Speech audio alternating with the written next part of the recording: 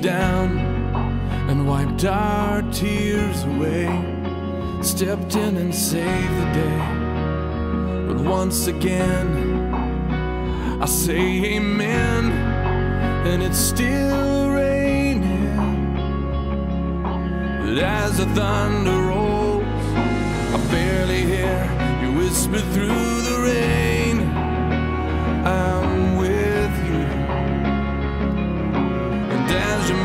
Mercy falls, I'll raise my hands and praise the God who gives and takes away.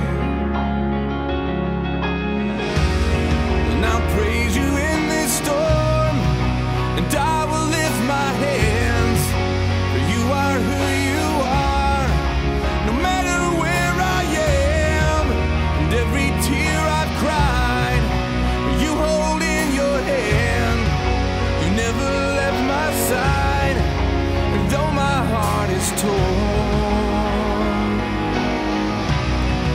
I will praise you in this storm.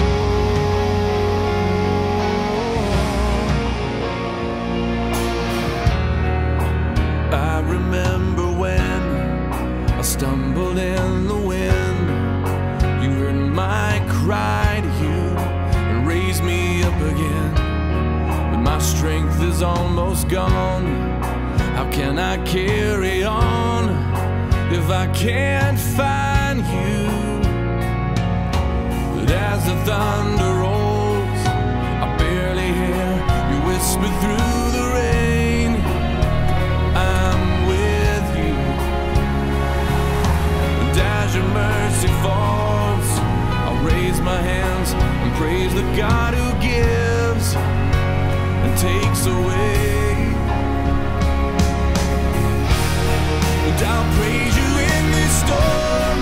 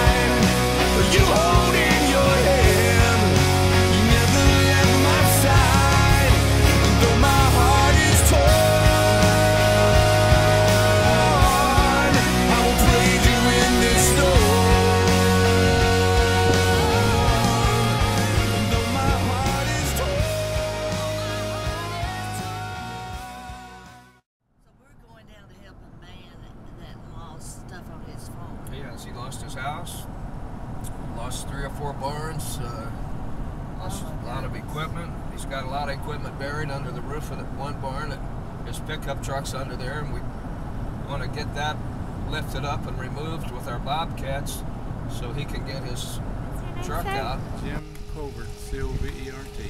Well, we're really glad to be here, Jim. Um, I'm from Memorial Baptist Church, and we have collected donations for a month since we heard everything that happened here and been planning to come here. And we brought uh, nine people here to help you.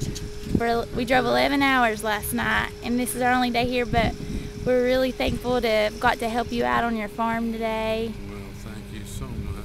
Um, could you just tell us, like, where were you that day and what happened? Well, um, we were in the house about 5:30, and uh, it come over the news that there was a tornado on the ground in Joplin.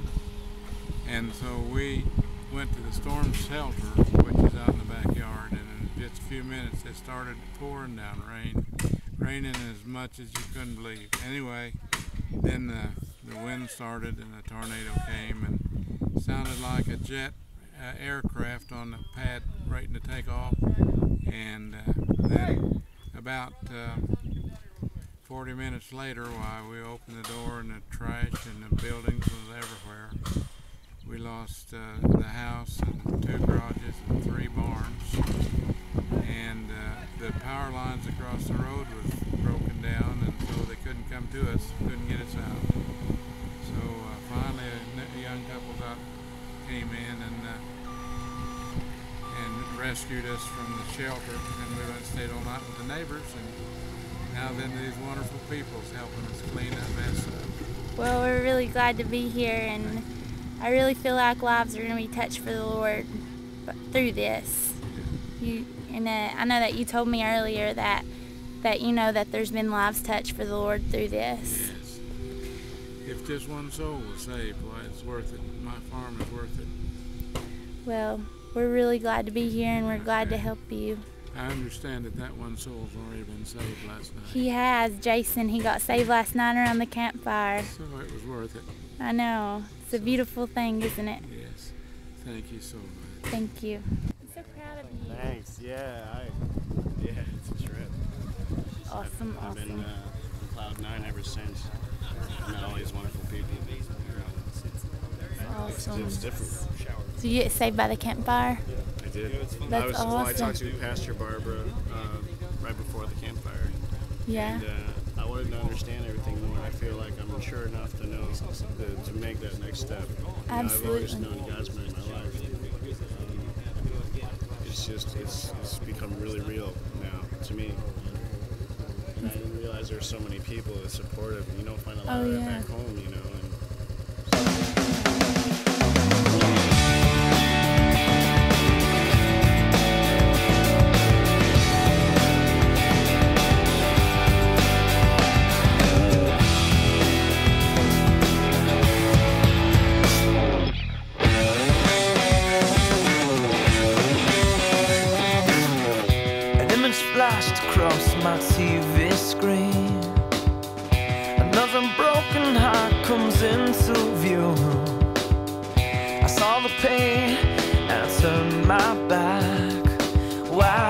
Can't I do the things